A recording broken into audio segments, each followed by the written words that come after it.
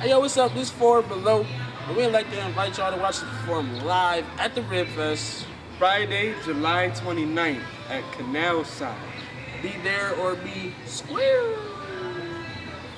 I drew a circle.